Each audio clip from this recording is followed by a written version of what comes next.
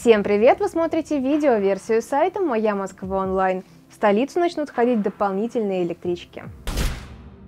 В Москву с 8 декабря 2019 года начнут ходить дополнительные утренние электрички из Солнечногорска и Зеленограда. Об этом сообщает пресс-служба Московско-Тверской пригородной пассажирской компании. Новые пригородные поезда начнут ежедневно отправляться в Москву из Солнечногорска и Зеленограда. Уехать в Москву можно будет со станции Подсолнечная и Крюкова в 6.50 и 7.25. В пресс-службе рассказали, что это поможет снизить нагрузку на другие утренние электрички.